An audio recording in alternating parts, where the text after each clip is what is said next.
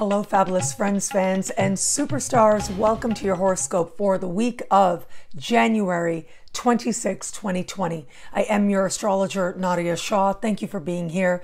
What an amazing week it is. We have an active and fabulous sky playing out for us right now. And it is this week that does feature a beautiful once a year alignment, or rather, meeting in the sky of Venus and Neptune. And that would be very beautiful, very fantastical, uh, and it would be very spiritual and inspired if it wasn't for the fact that Mars is speaking to this configuration intention. It is that fact that this becomes a larger configuration thanks to Mars that changes the energy and changes the game considerably. Now, it was uh, very recently, this past week actually, there's been so much going on. Everything moves so quickly, or has felt like it's been moving so quickly, uh, that I was in New York City three nights, three days of events back to back to back. And uh, at the event that I did at the Theosophical Society of New York, uh, really such a beautiful crowd, such a loving crowd. Uh, we had a wonderful conversation, and I was able to have private moments with many people there.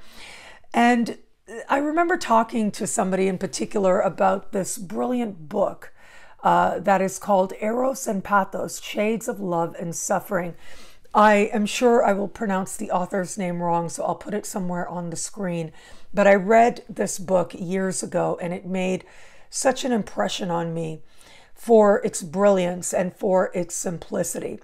So, one of the central ideas in this book is that to love is to be intimately connected to the notion of loss. In fact, love and loss go together. You cannot love without truly understanding that at some point there is going to be a sense of loss as well. And it is by reconciling the two, by allowing the two to find peace, to be next to each other, and to be still next to each other, well, we are that much more able to love, that much more fully and be changed by love that much more for the better. And of course, I was talking about it in the context of my dog, but as I was thinking about the sky this week, I thought how perfect a symbolism, how perfect an analogy.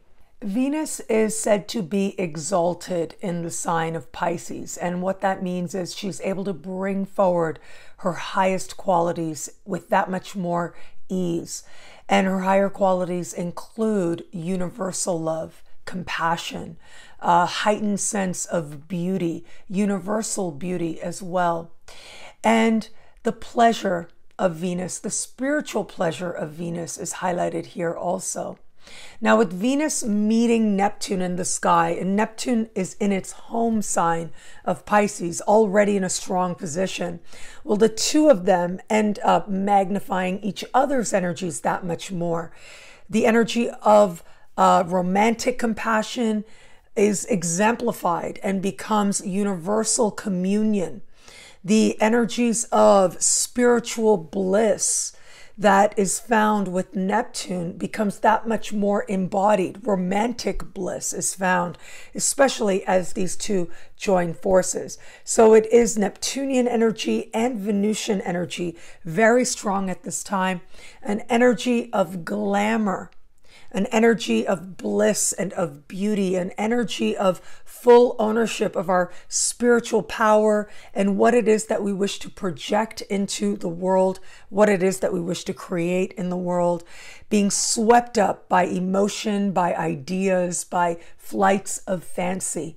All of that is magnified when Neptune meets Venus in the sky, as they will now. However, Mars is a very different energy. It is Venus and Mars that are considered uh, kind of counter to each other. And in that way, they end up actually complementing each other. They are speaking in a connection called a square. And a square is one of tension. Venus and Mars square can also be sparks, it can be motivation. But Neptune in the middle of this configuration, well, that ends up changing the energy considerably. Mars, right now, uh, Mars considered a very fiery planet, especially in modern astrology as the ruler of Aries. But it is also Mars in a fire sign right now, in the sign of Sagittarius, that is speaking to Neptune and to Venus simultaneously. This energy is going to peak between Monday and Wednesday, but really we will be feeling this energy as we step into the week. And it is going to be once we get past the middle of the week that the energy starts to dissipate considerably. But it is going to be dominant for much of this week and the first half of the week in particular. So we can think of this as one uh, larger configuration, a concentration of energy that is going to stay with us as we start the week and into the first half of the week. So it is Mars representing fire and in a fire sign. With Neptune, god of the seas, meeting Venus, already exalted, both of these energies in a water sign.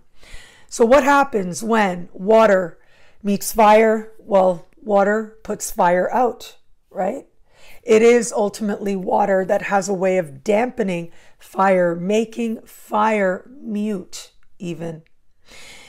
Another interesting thing to take into consideration both Sagittarius and Pisces are ruled by the planet Jupiter. They both have uh, elements to them of uh, religiosity, of spirituality, of faith, of belief, of spiritual values as well.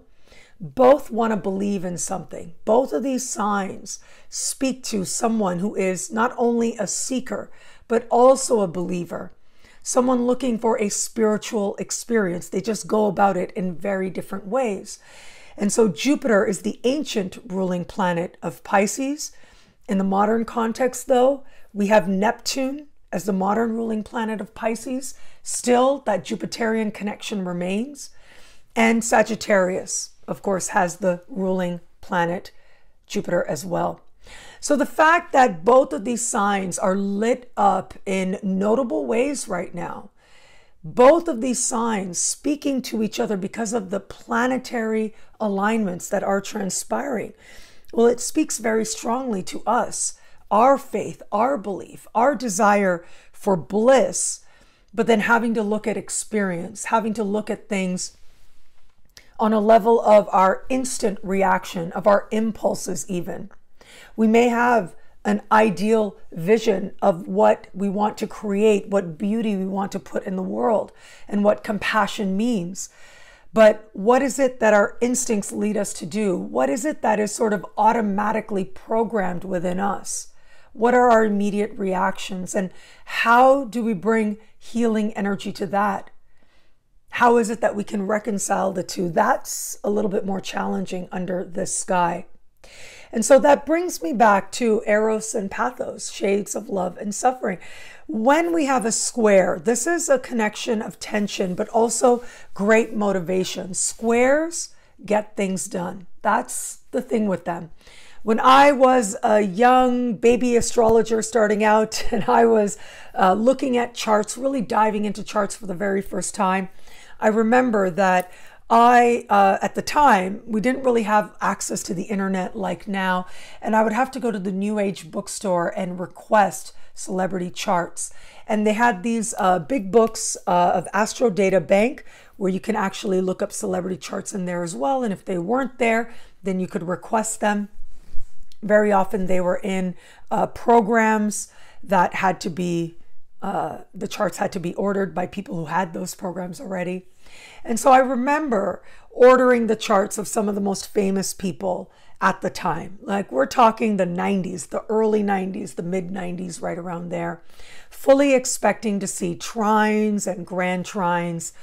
Shocked beyond belief, I tell you, when I saw squares, lots of squares. I saw grand crosses, which is essentially a larger configuration of squares.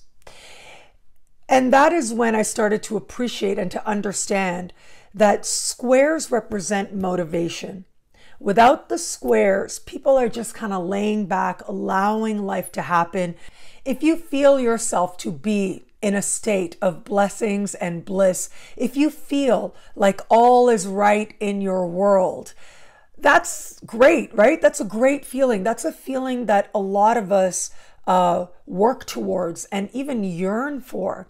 But those of us who do yearn for that, well, chances are we have a lot of squares in our chart. That's why we're yearning for it.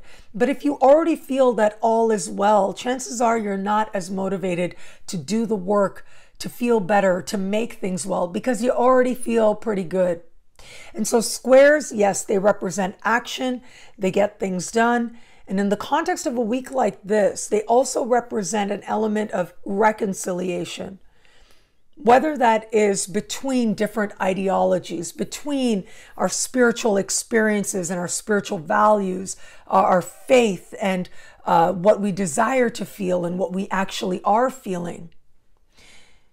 There is going to be this point, this work that we are inspired to do to find that point of reconciliation. But it isn't just about faith, it's also about love. Eros and pathos, shades of love and suffering. What is it that love is meant to feel like for us? What is it that love in practice actually looks like? Where is it that we feel empowered in love and we're taking action and we're moving ourselves, propelling ourselves forward towards connection? And where is it that our desire for bliss found in another cannot be met? This is going to be part of the energies that we're being asked to bring reconciliation to. Now, there's also the the context of faith, right? There is this belief that faith is healthiest when it questions itself. And when faith is healthy, it wanes. And what I mean by that is we have seen throughout history, certainly throughout the ages, throughout the world, we have seen what happens when faith does not question itself. What brutality can arise from that.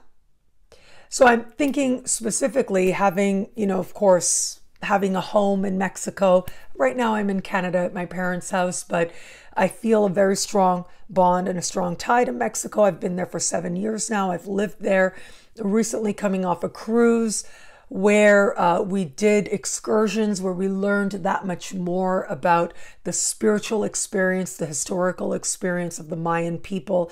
And I'm thinking about uh, the conquerors, the conquistadors, and how in their faith and in their belief, that they were going out to convert people and they were doing something right and they were doing something righteous really wrecked a lot of havoc and brought great destruction uh, to a people, to a culture uh, that had tremendous wisdom, that had tremendous beauty. One of the things I remember learning many years ago that actually hurt me very deeply was the burning of books that took place. The conquistadors actually burned a lot of books that held the Mayan wisdom in it. And so a lot of the wisdom that survives to this day is largely because of oral tradition, because of a commitment to keep the wisdom going. But there's a whole lot of wisdom there that has been lost to us, possibly forever. And there's sadness because of that. I feel a loss because of that. Uh, Mexico is an adopted home to me. I don't have an ancestral connection to Mexico, but I feel a bond to it on a spiritual level, which is why it has become home to me. And we have many examples just like this throughout history, but even in modern times as well. We can think about when we see the destruction of uh, religious sites, of cultural sites, how much it hurts across the world, how much it feels like something of our human history, the human legacy we hold, how much of that becomes lost whenever there is destruction that happens to spiritual places, to spiritual monuments. When it comes from, and even though it comes from a place and a space and a people who are so in a faith that they are not questioning. Faith that is not questioned is not healthy. But also, a faith that never wanes is not healthy as well. When faith wanes, when we have those moments when we want to be filled with faith or we want to feel a connection, but we don't, right? No matter what we're doing, we're in a space where we're either in so much sadness or so much pain, spiritual pain, we're in doubt, we're in uncertainty, that it's hard to feel that connection to spirit. It's hard to feel that connection to the divine within us, perhaps even the divine in each other. That is when faith wanes, but it is in those moments that we actually do the work that faith requires, that we actually show something of what our faith is actually made of, that makes those times of strong faith that much stronger. We cannot know how strong faith can be without knowing its converse, without knowing those moments when our faith feels weak. They go hand in hand if they're going to be strong, if they're going to be healthy. Times of waning faith and times of waxing faith. Times when our faith feels like it is lagging and longing, and times when our faith feels certain and strong and growing and fully embodied. This may very well be a contrast that all of us have in one way or another.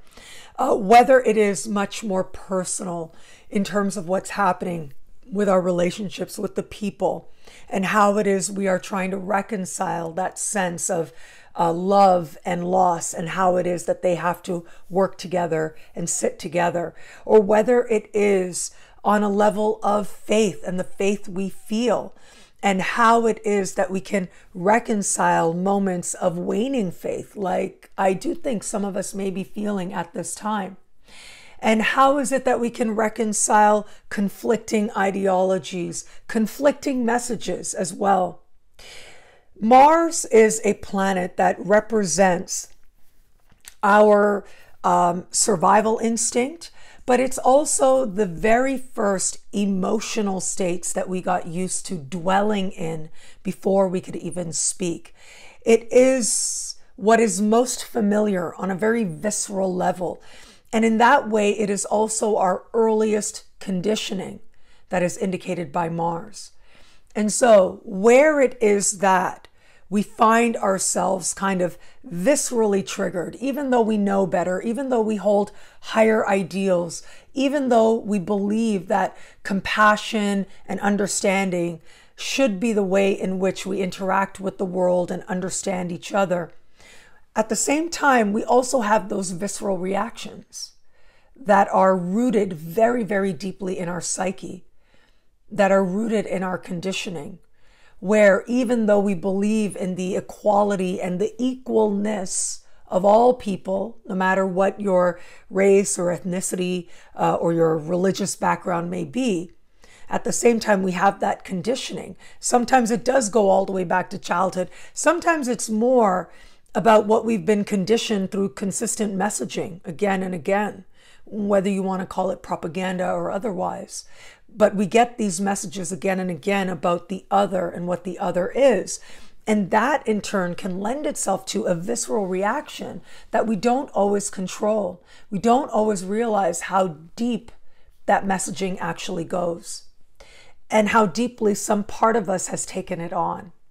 Well, it is this sky right now that is going to invite us to consider this, that is going to invite us to look at ourselves, our own reactions, where it is that we want to lash out almost automatically. It might be personal, it might be more global, it might be directed at, you know, kind of anonymous others, people of different uh, social locations or demographics, but it might be a lot more personal. It might be directed at a particular person who did you a particular wrong. How is it that we take that more hurt part of us? Mars is also childhood for a reason. Like I said, earliest uh, conditioning, but it's our childish responses ultimately. So, how is it that we don't respond as children, but instead hold ourselves to our higher values? That response, that adrenaline, that reaction, there's an addictive quality to it. It takes diligence to decide that we're going to hold ourselves to those higher ideals. even when we can't feel it. We have faith, but we wish we could feel more connected, but we don't. We want to love and have that universal love for each other and perhaps for a specific person, but it's hard to feel it sometimes. It takes work to feel it sometimes. Are we willing to do the work? How committed are we to those ideals? Well, that work may very well show up for us now. So, whether it is that you are one of those people experiencing these lessons within love, within the context of an intimate relationship, or within the context of a longing for love, longing for a particular person, where it feels like there has been that loss, or whether it is that these lessons are playing out more globally, more universally, more in terms of groups, we have a real opportunity here now to integrate. We have a real opportunity here now to work on our faith, to ensure that our faith is strong, that our faith is grounded, that our faith is certain. Even if we don't feel it right away, we can get there. I spoke about the conquistadors just a moment ago, and I do want to say, and I want to emphasize that there are assertions and there is a theory that may very well be true. There is a belief that may very well be true that the conquistadors that were going out there to convert people, they truly believed they were doing the right thing. They truly believed that uh, they were coming upon people who didn't realize they were doing something wrong, uh, doing something that ultimately was not aligned with uh, the Jesus or the Christ or the, the Catholic principles that they understood, that they believed were right. They believed that they were actually saving these people, that they were bringing salvation. And that is part of, if not the most important motivation to their actions. I don't want to judge what somebody did or why they did it, but we can look at outcomes today.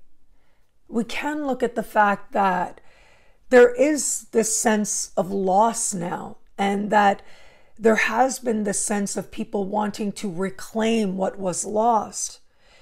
And it's hard. It cannot be reclaimed without taking into consideration a modern context without utilizing modern tools and without also taking into consideration that we are now modern people. So, how is it that we can reclaim and regain knowledge that has felt lost and we can now document it again? Those new documentations can only be understood in the modern context and will never be exactly what they were before regardless of motivations. And I'm, of course, I'm not saying anybody right now or alive today or any faith or any, you know, any background is good or bad or otherwise. But what I am saying is that there may be a sense of loss. It might go back very, very far. It might be, for some out there, this is Pisces energy after all. It is about connection and communion. It's about the lives that we have felt that we bring into this life. And so some of that loss may very well be connected to our past lives and what we experienced before. And whether or not we can fully intellectualize it, we might be feeling it. I think about um, there's a, theory called ancestral memory or uh, sort of the emotions that we hold in our DNA. And there's this belief that when we do the work to heal ourselves, we are actually healing on that level of ancestral DNA. We are going way back and we are healing generations by working on our healing today. By working to find that sense of, of integration and unity within ourselves, within our spirit, by working to be at peace with ourselves and our choices and our lives and our present. It is then that we're actually able to heal not only the past, but then we are able to be that much stronger stewards for the future of our ancestral lines. that much more stronger stewards for the descendants that have yet to come. Now, when I talk about ancestry, I also want to say I don't just mean physical ancestry. Yes, we can say our uh, ancestral DNA that would be connected to our physical ancestry. But anytime we align with a system of thought, a philosophical school, a spiritual tradition, we are ultimately carrying forward some lineage we are ultimately aligning ourselves with ancestors, spiritual ancestors, intellectual ancestors, ancestors in thought, in deed, in action. And by aligning with them, we become their descendants. We become a part of what it is that they desired not only to leave behind, but what is now being carried forward, what is made modern thanks to us thanks to our development, our embodiment, and our willingness to do the work today. It is this week that has this very interesting start, right? The start that can feel like things are in flux and they are in flow, like we're questioning. Some people may be feeling like they are mourning and they may not be able to put a finger on why or what. And so it is really important to be kind and gentle to everyone you meet. All of us in some way are experiencing a loss, a loss of some illusion, a loss of some hope, a loss of something that we held high, that we saw as ideal, and are now realizing that maybe it isn't so. But it is in that space when we're willing to acknowledge the loss that love can actually happen. And this is why in Eros and Pathos, they talk about how it is ultimately in reconciling love and loss, sitting next to each other peacefully, that we're able to love that much more fully. It is in acknowledging the loss now of whatever that may be a dream, a hope, a role model, a, a, fantasy. It is by being willing to acknowledge that loss and being willing to feel it, being willing to mourn it, that we then transform the energy, that we then become true stewards of love love for ourselves, love for each other, and love for our journey. We are then able to actually be stewards of compassion, not only more effectively, but more honestly than we knew we could be before. What I love about this week for us, well, look, I do love that this energy is ultimately very compartmentalized. It is a lot, it's pretty intense. A lot of us are going to be feeling it quite deeply. But others of us may find that it's just a moment. It comes and it goes. It washes through us, if you will. Regardless of where you fall on that spectrum, this energy ultimately peaks in the early part of the week. It is Monday to Wednesday that you can consider it kind of a block of energy playing out. Once we move past that, very quickly, the energy will start to dissipate. And next week is a really big week. It is next week that we are going to have not only Mercury moving into shadow, but Venus will make supportive and harmonious connections to Saturn and Pluto. Of course, I'll be here to talk about it when we get there and talk about it every step of the way. But what that tells me is that the uncertainty, the illusions, the delusions, the release, the loss, the longing of now will ultimately give way to a much stronger future, a much stronger sense of self and a much stronger and clearer and more powerful commitment to love that is set to find us. For some, before the week is even over. And as we get to the very end of the week, we'll start feeling that harmonious and empowered energy. It is now, though, and there is wisdom now in just being where we are, in feeling what we do, and allowing ourselves to acknowledge when it is that we don't have the answer. As Eckhart Tolle said, to be comfortable with uncertainty. Because when it is that we allow ourselves to be comfortable with uncertainty, infinite possibilities open up to us. Those infinite possibilities are right around the corner. You might not even have to wait until we get into next week before those infinite possibilities start to open up. But it is now, in this time, in this space, that you are allowed to feel whatever you do. And whatever it is that you feel, don't judge it. Let it be what it needs to be. And it is in acceptance that we find love. It is in the acceptance of all the range of emotion that can be on offer now that we find genuine and authentic beauty within ourselves and in each other. Well, thank you so much for watching. What do you love about this week? Let me know in the comments below. I love reading you guys. And of course, if you want to know how all this wonderful stuff this week speaks to you and your sign, log on to nadiyashah.com. Sign up to be one of my superstars. Superstars get expanded exclusive video scopes each and every week, unlimited access to special horoscopes and more. All of this in the superstar space. I look forward to meeting you there it felt really good to do a proper weekly video, I tell you. I've had just so much stuff going on, and I will tell you the truth. I have been burning the candle at both ends. I have been truly exhausted the last few weeks, and I still am.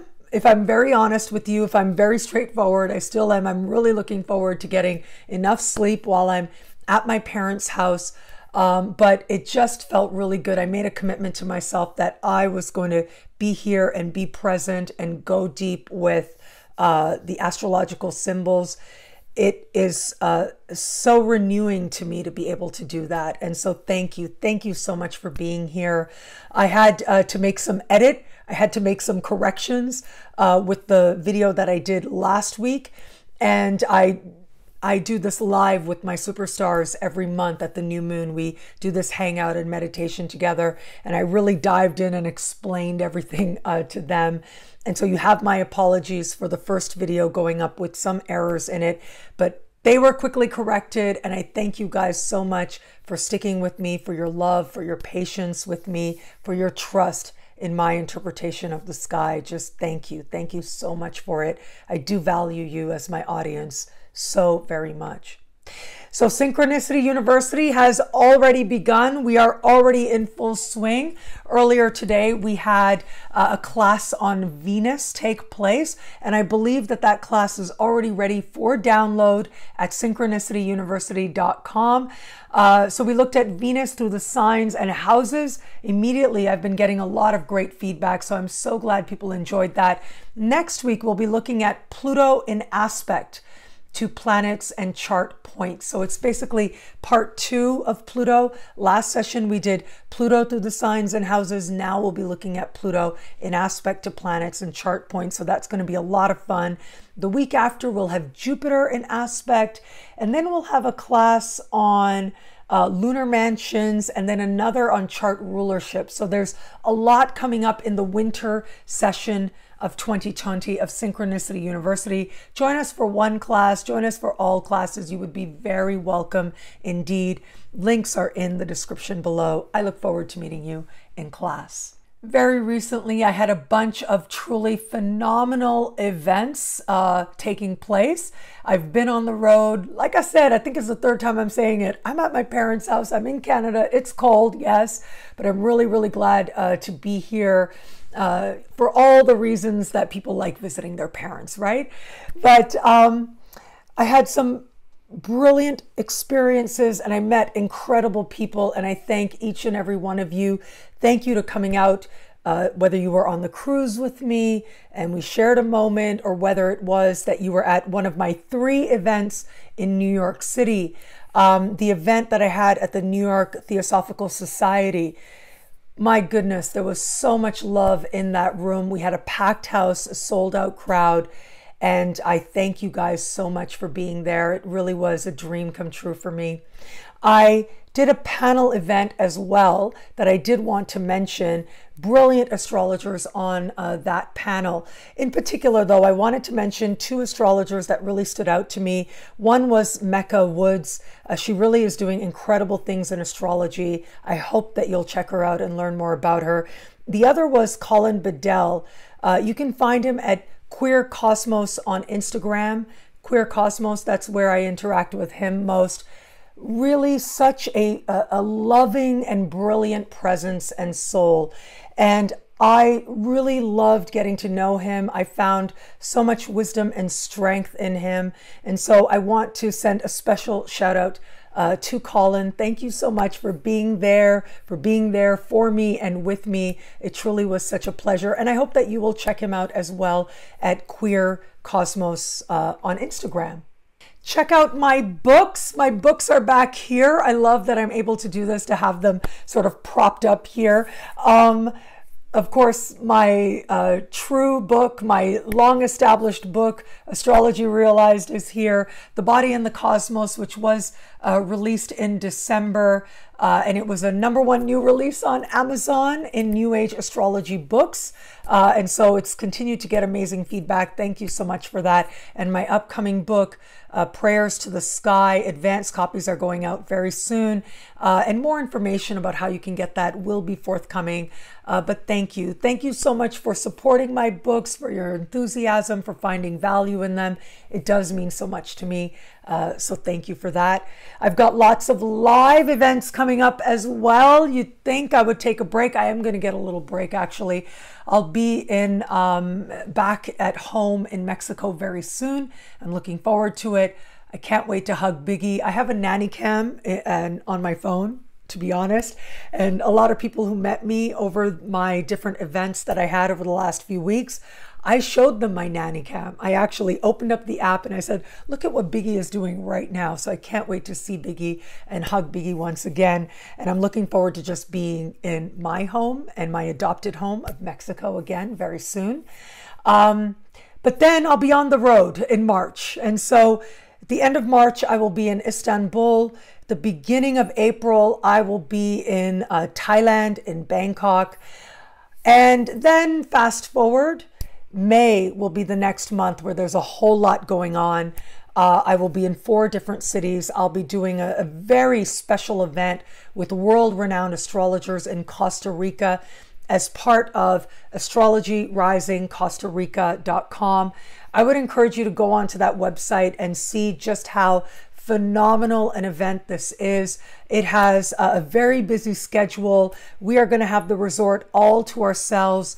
Our host and organizer is Kaypacha. Kaypacha is huge on YouTube as well. And it really is going to be this immersive experience with world renowned astrologers, including the great Rick Levine, one of my very favorite people. Rick Levine will be teaching, uh, Maurice Fernandez, Sol, uh, Jonathan, and we've got a bunch of other people as well that I'm looking forward to meeting. Uh, Ari Moshe, Timothy Halloran, and uh, Christina Claudel. So, really brilliant astrologers, world renowned astrologers, myself as well. I feel really grateful to be in such great company. But you can check out the schedule, check out all the variations on pricing. The longer you wait, the price does go up significantly, but there's still really great discounts available. So I hope that you'll check that out. Astrology Rising, uh, Costa Rica.com. Astrology Rising, Costa Rica.com.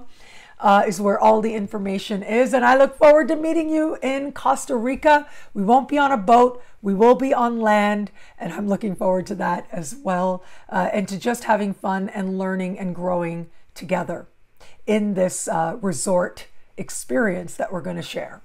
AstrologyRisingCostaRica.com. After Costa Rica, I will head to Toronto, and it is going to be uh, in the middle of the month that I am going to be presenting and hosted by Astrology Toronto. So I hope uh, to meet you there, to see you there as well. If you're in the Toronto area, it'll be really nice to be home at that time. The following weekend is Memorial Day weekend, and I will be in Seattle at the NORWAC conference. And immediately after Memorial Day, or on Memorial Day, I'm going to fly to Las Vegas the next day, the Tuesday after Memorial Day, and the last Saturday in May. I will be teaching in Las Vegas, hosted by the NCGR Stargazers Group of Las Vegas. I'm really looking forward to being back. I do love Vegas very much. And then I get a break and I uh, will be teaching in September, again in Colorado. I want to send a very, very big, very heartfelt thank you to everybody who participated in my charity raffle. Thank you so much for your donations. It really uh, meant so much to me. We raised so much money together and it has moved me very deeply. And I just thank you with all my heart. 933 tickets were sold at a dollar each, and I promised you I would cover PayPal fees and I would add additional money so that we together would donate money. And so $1,000 was donated to bestfriends.org. They were the main charity that we were raising money for. And bestfriends.org, they specialize in rehabilitating, rehoming, uh, and bringing healing to animals who have experienced abuse or trauma. They welcome in all kinds of animals and they really do very important work and work that affirms love and wisdom in the world. Work that affirms that no matter what it is you've been through, you will love again. You can love again, especially if you're willing to do the work. And so I absolutely love this organization. I donate to them every single month, anyways, but now because of you, $1,000 was donated directly by me. And of course, as I shared with you before, uh, another organization as well, a company donated $1,000 as well. So thank you so much for that. And thank you so much for being a part of this. Uh, additionally, on our behalf, I also donated uh, $300 to an organization called JMM, Just Manifesting Miracles. They are in Lebanon, Oregon. They are a smaller organization, but they actually um, work as an adoption service to help animals get adopted, dogs specifically, I do believe. Uh, but I do think that as much as we look at these big uh, organizations like bestfriends.org and the very important work that they do, these smaller, more local organizations, they also do very valuable work right on the ground. And so, on behalf of friends, fans, superstars, and students of NadiyaShah.com, uh, $300 was donated on your behalf, on our behalf. And I also wanted to donate something that was more astrologically specific as well. And most conferences do have scholarship funds that you can apply for, anybody can apply for. Uh, and normally, if you go onto their website, you'll see those scholarship funds. Well, that money is raised for those scholarship funds through donations. And many, many years ago, I attended one of my first important, important conferences because of a scholarship many, many years ago. And it ended up meaning so much to me. And so, on our behalf, friends, fans, superstars, and students of NadiyaShah.com, I donated $200 to NORWAC and their uh, scholarship fund. And so altogether, we raised $1,500. And that to me is really incredible. And plus the $1,000 that I mentioned earlier. Uh, and that means that a whole lot of people, a whole lot of animals, um, a whole lot of students of astrology are going to be helped because of your generosity. So, for buying a ticket, for supporting this initiative, you have my absolute gratitude uh, and my heartfelt thanks to you. Thank you. I have such a great life, and it really is thanks to you, and it's thanks to your love, and it's thanks to your trust. And I never take that for granted, ever. And I thank you so much for that. Thank you. And I think with that, that's it for now. I don't think there's a lot else to share. I do have special horoscopes, of course, that you can download on my website. They're free to superstars, decade ahead horoscope, year ahead horoscope, Jupiter uh, horoscope special. If you haven't already, please do check that out. And again, synchronicityuniversity.com. That's where the party is going to be for the next while. Uh, and so I look forward uh, to meeting you in class. And again, thank you. Thank you for watching. Thank you for sharing your sacred journey with me. I'm truly so grateful for it. It'll be a great week. Enjoy.